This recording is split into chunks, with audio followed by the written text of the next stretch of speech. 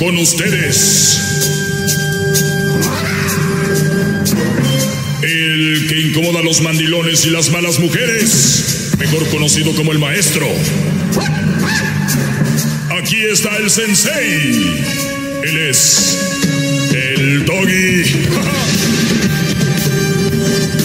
Buenas tardes, señores. ¿Cómo están? Espero estén bien después de un fin de semana.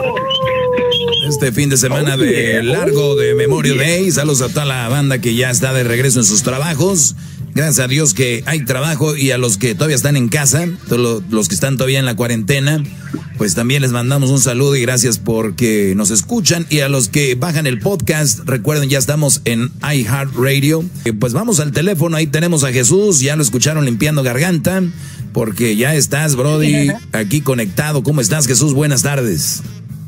Muy bien, maestro. ¿Y usted cómo se va? ¿Cómo se le ha pasado? Pues ya, ya, ya estoy hasta la madre, bro. La pura verdad, ya estamos eh, hasta, hasta, hasta el gorro y más uno que es aventurero, ¿no? Que no puede estar en la casa eh, nada más comiendo, engordando, haciéndole comer a la vieja como muchos. Como muchos que los tienen haciendo el quehacer. Entonces, y, y bueno, pues aparte las mujeres eh, les dicen qué hacer. Entonces, así que pues no vaya a ser que se enojen, ¿verdad? Les voy a decir una cosa antes de ir contigo, Jesús. Ustedes que tienen miedo, a, usted que, ustedes que tienen miedo a que sus viejas se enojen, ¿qué creen? Les tengo una respuesta. No importa lo que hagan, siempre andan enojadas, güey. Eso sí tiene razón, maestro. O sea, o sea, pónganse a pensar en esto, pónganse a pensar en esto. No voy a hacer esto porque mi vieja se enoja. Güey, siempre está enojada, siempre está enojada. Hagan lo que hagan lo que tengan que hacer, Brody. Eh, muy bien. ¿Cuál es, muy buen consejo. ¿Cuál es tu pregunta, Jesús? Mire, maestro, yo tengo una pregunta así que es una poca de polémica. ¿Qué le puedo decir? Este, usted, ¿qué me da de su opinión en razón de una esposa que sea bien chambeadora, luchona, que busca lo que ella quiere, pero pues está casada. Entonces se empeña en el trabajo, se empeña en el trabajo y luego anda toda cansada, está toda agotada. O sea, no disfruta de la vida, no disfruta de la vida ni de su pareja.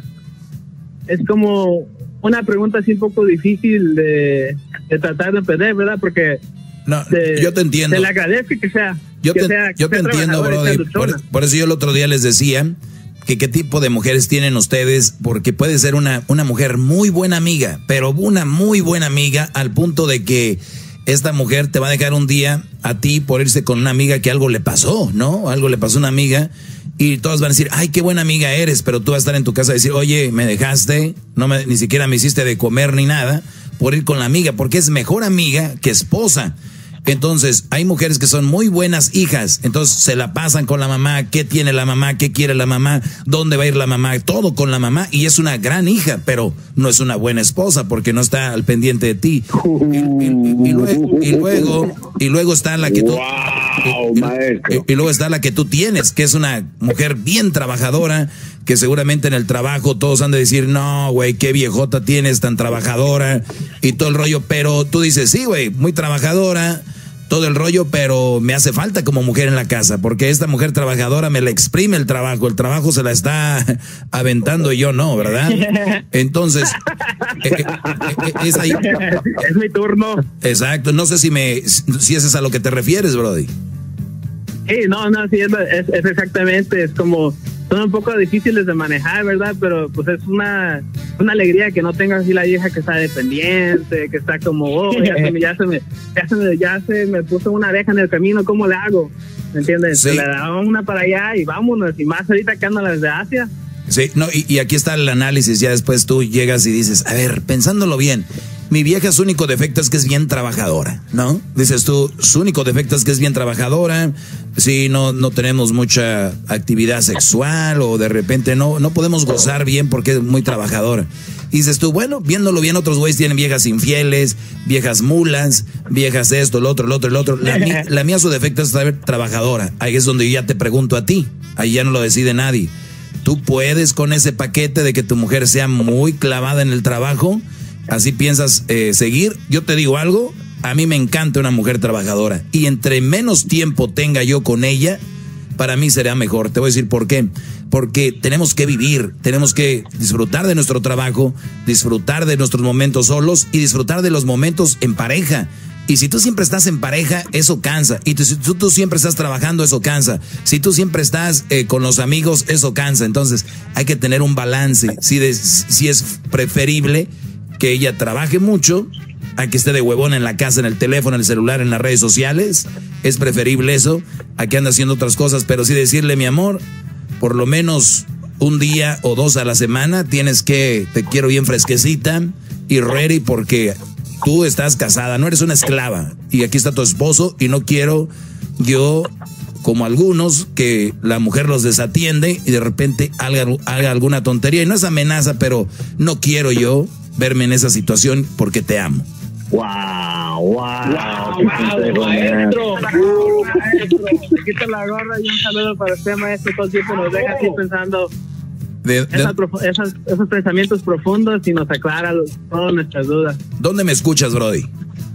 Aquí estamos en la área de Encinitas, California, chambeando duro aquí bajo el sol, clavando estacas, formando por el cemento. Ah, ok. Saludos a todos los cementeros, a toda la gente que anda ahí trabajando duro y ahorita con este calorcito, Brody, se la han de ver difícil, ¿no? No, sí, no. Ahorita falta mucha agua y luego, pues lo bueno es que no estamos al otro lado de la frontera porque pues aquí sí hay agua. Aquí sí hay agua. Es todo, Brody. Pues gracias, Jesús. Y sí, sí, habla con tu mujer y dile, mira, esas son cosas que pueden afectar el matrimonio. Son cosas que son, que pueden afectar el matrimonio. Ahora, Brody, te hago una pregunta. Tu mujer, tu mujer a la hora de gastar dinero, ¿qué dice? ¿Este es mi dinero, yo lo gané o lo comparte contigo? No, para nada, maestro. Eso es lo que, es lo que le digo. Si ella gasta más de, más de 25 dólares, me, me, consulta. Lo mismo hago yo, pues, porque hemos tenido, pues ahora sí como que dice una, una buena este, comunicación en lo que viene siendo los gastos, ¿verdad? Que es una, una cantidad que nos puede faltar a uno. 5 dólares, 10 dólares es como X, pero ya 20, 25 dólares, o sea, hay que tener esa comunicación, hay que pues tener esas pláticas y... Ah, o sea que ustedes tienen las finanzas, ustedes tienen las finanzas bien bajo control. No, sí, Ok, te lo digo por lo siguiente, Brody. Hay muchas mujeres también que trabajan mucho, eh, que son muy trabajadoras, no quiero decir quién, algunas tienen, algunas por aquí, mujeres trabajadoras, pero el Brody no puede tocar, no puede tocar su dinero. El Brody no puede tocar su dinero de ella, pero ella sí puede tocar el dinero del mensote este, ¿no? Entonces, entonces, e, eso es algo, es algo que yo nunca he entendido en muchas mujeres. Dicen, pues yo no voy a estar aquí en la casa, yo me voy a ir a trabajar porque yo no voy a estar pidiendo nada a este güey, no, yo no voy a estar pidiendo nada. Fíjate lo que hacen las, las tlacuachillas estas, fíjate. Se van, se van a trabajar. Tlacuache cut, la traes levantada o la traes abajo cut. La troca de mi hermano quema cut. Bueno, la cosa, Brody, aquí es lo siguiente. Muchas mujeres, como son muy tontas, muchas, no dije que todas, en su mente creen que están haciendo un bien, pero vean qué egoístas son. Dicen, yo no voy a estar pidiéndole nada a este güey y es mi dinero y yo voy a trabajar. Se va a trabajar, hace su dinero, vamos a decir que gana unos, ¿qué quieres? Unos cuatro mil al mes, por decir así, ¿no? Unos cuatro mil dolaritos al mes, eh, cuatro mil dolaritos al mes o tres mil, vamos a poner tres mil al mes. Ese dinero, según en la cabeza de estas locas, es dinero de ellas, porque ellas no le, no le piden nada al Brody. Pero ¿qué creen? Ella se va a manejar en el carro que él compró. Ella está usando la tarjeta para echar gasolina de la que tienen los dos en la cuenta, que obviamente es dinero del que él gana. Cuando van a viajar a comprar boletos para ir de vacaciones, si es que viajan, compran con la tarjeta del Brody, de la cuenta de él, y de la cuenta de ella está intocable. Esa es la cuenta que no, porque son agarradas y son este son como es son son malas para compartir porque es su dinero de ellas. Imagínate el Brody montado en el mismo caballo y decir, "Ah, ni madre, pues es mi dinero también. A ver, tú tú no vas a sacar nada de aquí." Ella vive en la casa donde donde están los dos que él paga la renta, ella usa la luz que él paga los biles. Entonces dicen, "Pero yo no le pido nada a él." Cállense, están como las chiquillas esas que tienen 18, 18, 18, 17 años, dicen, yo no le pido nada a mis papás, ¿y dónde vives? like, uh, vivo con ellos. En la casa. Exacto, vives en la casa, no pagas renta y, y, yo no le pido nada. Y, usan el carro, usan la luz, usan el, o sea, el wifi. O sea, eso se llama, Brody, no tener bien los pies sobre la tierra y, y, saber lo que estás gastando y de quién es. A ver, si yo uso wifi aquí, es de la Choco, eh, la Choco lo está pagando el wifi. Yo como voy a decir, yo a la Choco no le pido nada, o de repente vivo en, en el techo, digo, no le pido nada, pero estoy este, usando un cuarto de su casa. Y así mucha gente, pero como pierden la noción, no son agradecidos, por eso esa gente la mayoría no le va bien porque no son agradecidos, porque ellos creen que lo poco que tienen es de ellos mío, pero cuando alguien tiene más son los primeros que brincan y dicen, ¿por qué no comparten? ¿Qué malos son? Así son. Eh. Bueno, Jesús, cuídate mucho, Brody. Gracias. tiene buen punto. Saludos, a, todos de Michoacán. Un saludo acá para los compas de Querétaro también. Y Dios me los cuide. Saludos a la Choca, de Erasmo, a Garbanzini y a este muchachito Luis. No lo conozco. Ay, Ay, quiero. Bueno, cuídate, Brody. Cuídate. y, si, hablas muy tlacuache, eh, si hablas tlacuache. Sí, sí. Bueno, regresamos, señores. Regresamos. Chido pa' escuchar. Este es el podcast que a mí me hace carcajear. Era mi chocolate. Bueno, señores, ya estamos de regreso. Tenemos aquí en la línea a Edwin. Saludos a toda la raza que está regresando de sus, eh, pues, fin de semana larguito que se aventaron ya. Hoy es, hoy es este, Brody, pues hoy fue la final. Hoy fue la final. Y para los que se la perdieron, ahorita terminando este segmento, viene el chocolatazo. Y luego, eh, para los que se lo perdieron, pues la final. ¿Quién ganó esos cinco mil dolarotes? Así que vamos acá con Edwin. Edwin, ¿cómo estás, Brody? Buenas tardes. Sí, buenas tardes, maestro. ¿Cómo se encuentra? Muy bien, Brody. ¿De dónde eres tú, Edwin? Soy de Guatemala, sí. De Guatemala. Pues ya tenemos otro Edwin aquí, Brody, también de Guatemala. Cuando este Brody se vaya, aquí te traemos para no extrañar nada, ¿eh? claro que sí. Para no cambiar los bromos. Que al, cabo, que al cabo no creo que haya alguien que cante peor que ese Brody. No, ya no hay más. creo. ¿De qué parte de Guatemala eres, Edwin? De la capital, maestro de la capital de, de ¿cómo, se llama? Así, ¿no? Sí, Guatemala, Guatemala, sí. Guatemala, Guatemala. ¿Antigua qué es? Claro que sí. Antigua Guatemala, pues está algo muy bien más retirado. Muy bien. Ok, pues eh, te escucha, ahí está el Diablito, está Ed, está Ges, no, está Diablito, está Luis y está el Garbanzo. Así que vamos a platicar, mi Edwin. What's going on?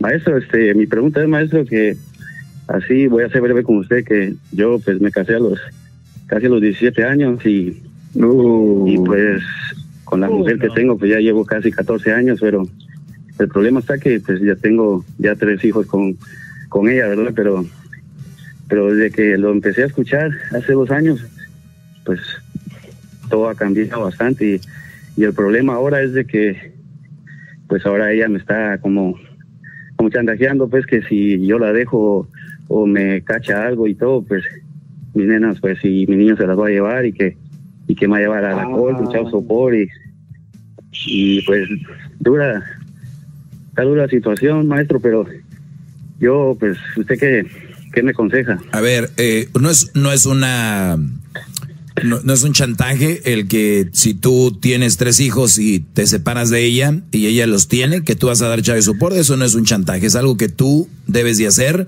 y antes de que ella lo haga, tú debes de adelantarte. Y esto va para todos los brothers que me están escuchando, que, se van a separar de una mujer, esto es lo que conlleva, ¿ok? Es lo que conlleva, es pagar chave support, así ella de repente no, no quieran, recuerda que de repente se le prende la mecha y diga, ah, no, ahora sí quiero y le vas a dar todos los chaves por retrasados que tenías eh, con ella, porque vaya, va a presentar un, papel donde diga desde cuándo no están juntos. Por lo tanto, eso es de cajón. Tienes que dar chayo support. A mí no se me hace un chantaje. Tienes que serte responsable de tus hijos, Brody, y no solo dar lo que la ley dice, a veces uno le nace dar más, si es que tienes, obviamente. Si no, pues la ley te va, te va a decir, mira, Edwin, eh, pues van a estar separados, ella va a tener los niños, tienes que dar tanto. Si los van a tener 50 y 50, pues quien gane más va a dar más. Entonces, sí, maestro, pero, eh, sí. maestro, disculpe, pero es que no es tanto el hecho que pues que yo quiera pagar el chau por eso no hay ningún problema.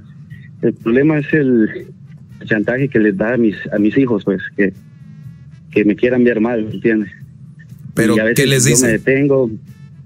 No, pues como que, no, mira tu papá, este, ya anda con unas varias viejas, a mis hijas y a mi niño. Híjole, hermano. Entonces. ¿Cuántos años tiene tu, tu hijo el más grande? Tiene 14. ¿Y al niño le dice que tú andas con mujeres? Ah, claro que sí, mis dos nenas, mis dos nenas tienen 10 y la otra 6, es que Ahora, ahora bro, ¿y tú sí andas con, tienes por ahí tu nachita ya o qué? No, no, nada que ver, no, ahorita, hasta ahorita pues he hecho las cosas correctamente, van... Okay. okay. E, entonces lo que lo que tenemos aquí, lo que tenemos aquí frente a ti es el cuadro de una mujer psicópata. El cuadro de una mujer psicópata es aquella mujer que sus intereses son más importantes que los de, de toda la gente, inclusive qué tan mala mujer tienes que no le importa hacerle daño psicológico a, tu, a tus hijos. Una mujer, Exacto. este tipo de mujeres son las que se llenan la boca en redes sociales diciendo, I love my children, I love my child, amo a mis hijos, los quiero, los amo, fotos con ellos, selfie, quería sin ustedes el Día de las Madres, gracias por hacerme madre. Pero por atrás, a los niños los está acabando. Esta mujer no los quiere, esta mujer les está haciendo, fíjate, con lo que dice, les haría más daño que tú yéndote de la casa, porque tú te estás yendo de, de, la casa, pero no quiere decir que los vas a abandonar, no los vas a ver, no los...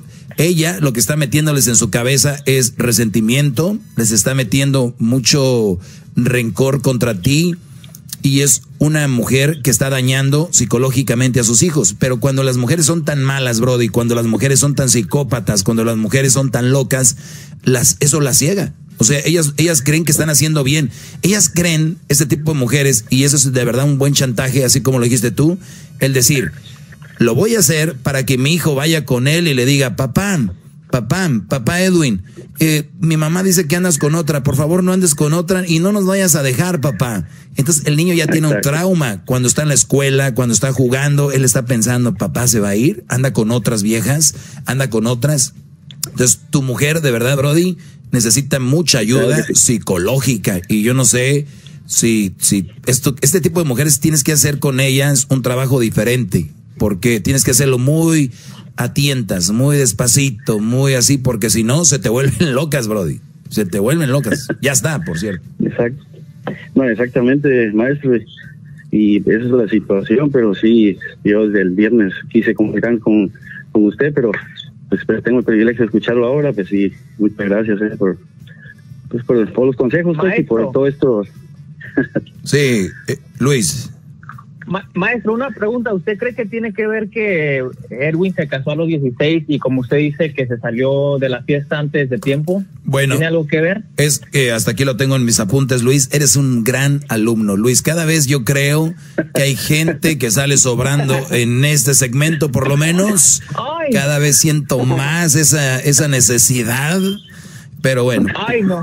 Eh, y, y sí, tienes razón. Mira, es a donde yo iba y es algo muy interesante y muy importante para todos los jóvenes que nos están escuchando.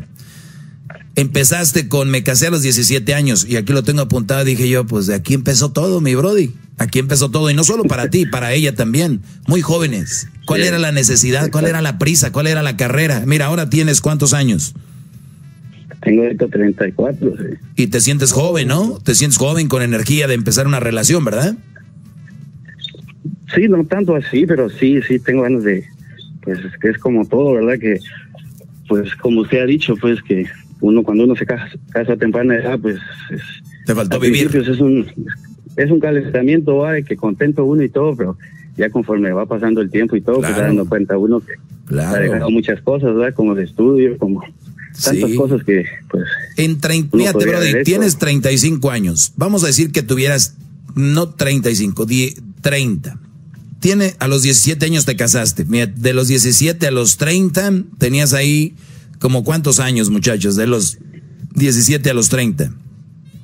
13 años. 13 años, nuestro. 13 años para empezar un negocio. 13 años para empezar una carrera, 13 años para aprender inglés, si no es que sabes, para prepararte para algo, 13 años para hacer tantas cosas que esos 13 años, esos 13 años los pusiste en tres niños y en una mujer con la que ya no quieres. ¿Qué va a pasar con esto? Que la mayoría de la gente dice, no, pero lo mejor que me ha pasado son mis tres niños. Pues sí, güey, ¿qué les queda? ¿Qué les queda decir? ¿Qué les queda decir? Ni que van a decir que no. Ni modo que van a decir que no. Entonces, imagínate 13 años de pura calidad para ti, Brody. Ahorita tuvieras a los 30, 32 años una carrera, tal vez una casa pagada, eh, y tal vez serías mejor persona y, darías más a tus hijos, más a los hijos que van a venir y más a la esposa, porque va a ser más maduro. Y, y, eso mucha gente no lo entiende, se enojan. Entonces, se, te saliste del baile cuando iban metiendo las rejas de refresco. Ay, correcto. Llegaste al baile, llegaste al baile cuando le estaban echando el hielo a las cervezas, mi brody. Te fuiste, te, fuiste tú del baile cuando estaban apenas haciendo, sí, uno, uno, uno, uno, sí, sí, sí, bueno, bueno. A esa hora tú te fuiste del baile, mi brody, cuando apenas iba a empezar. Y ahorita, y cuando te fuiste tú, todos tus compas que se casaron a los 30 y todos se pusieron a bailar, se pusieron a beber, pusieron a disfrutar la vida. Eso es para todos los jóvenes que aprendan. Tú ya lo aprendiste, ya no hay vuelta atrás. Ahora es cómo lentamente eh, vas eh, metiendo eso a la mujer y tú no vayas a hacer lo que hacen muchos brodis. Tu, tu, mamá está loca, no le hagas caso, porque entonces tú ya le estás haciendo más daño todavía a tu hijo. El decir que su mamá está loca, que no, que no es verdad. Tú ignora eso, tú nada más di, hijo, eh, con el tiempo vas a entender, hijo, con el tiempo te vas a dar cuenta. Tú puedes juzgarme ahorita si quieres, no hay problema, pero con el tiempo tú vas a saber, ¿no? Eso es lo que le puedes decir a tu eh, Muchas gracias, maestro. Gracias. Edwin. Una, pregunta, Erwin. Eh, ¿tú, ¿Tú ya tienes mentalmente preparado para dejar a tu esposa? ¿Estás listo ahorita en este momento? Pues listo, listo, pues por todo lo que está pasando ahorita, no, no. No, ahorita no. ahorita no es buen momento para ah, hacer este tipo de movimientos, no.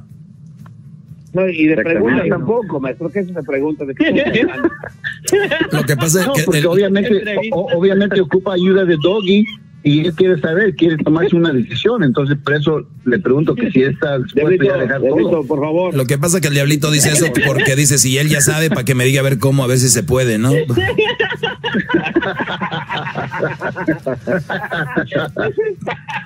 Diablito, tú eres, tú tienes el perfil de esos bro, tienes el perfil de esos brodis que si ganaran la lotería dejaban a la vieja brody. Tienes ese perfil. No, no. Claro que sí. Bueno, e-, Edwin, eh, ¿dónde trabajas, eh, Brody? Aquí, aquí en San Francisco, sí. En San Francisco. Saludos a la gente que nos escucha en eh, Radio Láser AM, AM ahí en San Francisco y también en Radio Láser FM ya en, en San José, por ahí. Les agradecemos mucho a la gente que escucha Erasmo y la Chocolata a través de Radio Láser ahí en la Bahía. Y recuerden, mujeres, la vida no es, no es, a veces no es justa. Y yo entiendo, yo si hablo, te he puesto con la esposa de Edwin, va a decir, pues este güey me quiere dejar con los tres hijos, él me hizo esto, me hizo lo otro, yo sé que tal vez va, va, a haber algo así. Y, y, en su favor les voy a decir algo, tienen razón, pero en, en el favor de lo que es la vida, la vida no es justa. Y la vida no va a ser siempre como uno quiere pero ahí es donde uno crece como persona en las adversidades. Ustedes que han de, su esposo las ha dejado, es donde ustedes se convierten en mejor persona, no malas personas. No, a sus hijos no los dañen, no los llenen de, veneno, no los llenen de, odio, porque los niños, una de dos, van a terminar dañados, que eso es, eso es un hecho, van a terminar dañados porque por lo regular, si no hay una buena separación, si no hay una separación, eh, se puede decir madura, si no hay una separación bien, ¿qué pasa? Terminan dañados los niños entonces las mujeres dicen, quiero tener a mi esposo aquí por, porque mis hijos me, duelen. Pues bueno, déjame decirte que si tu hijo está, tu esposo está ahí y nada más están peleando, les está haciendo más daño a que si hay una buena separación y ustedes no se vuelvan locas contra el hombre. Wow,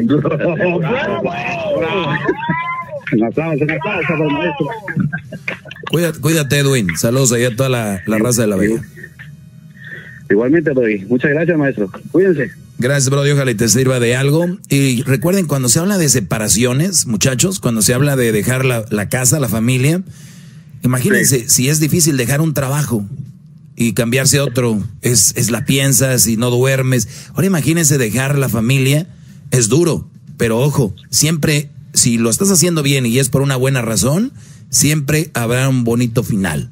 Si lo hacen por canijos, porque otra vieja está más buenota, que está más nalgona, que me lo hace mejor, no habrá un buen final, Brody. De verdad se los digo, eso es una situación que yo creo cuando tú necesitas hacer el movimiento, lo necesitas hacer.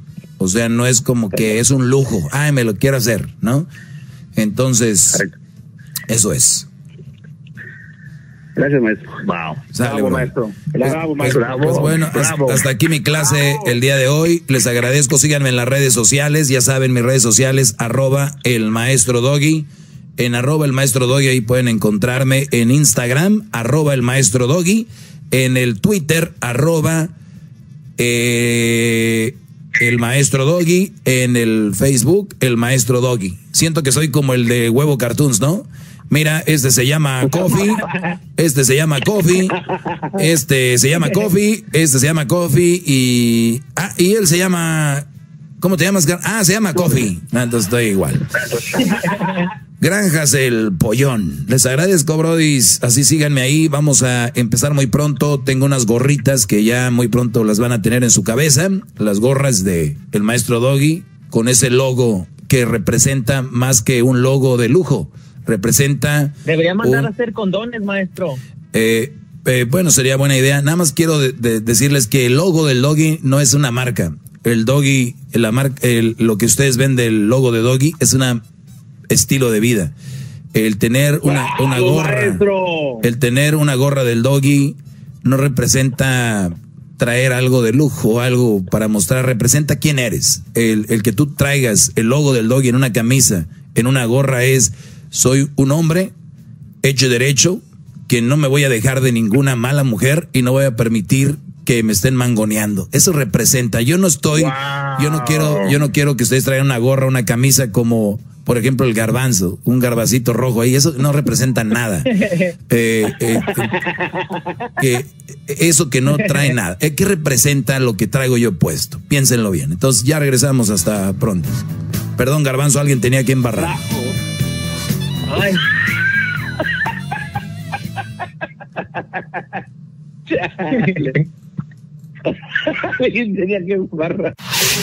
Chido, chido es el podcast de Eras, no hay chocolate. Lo que te estás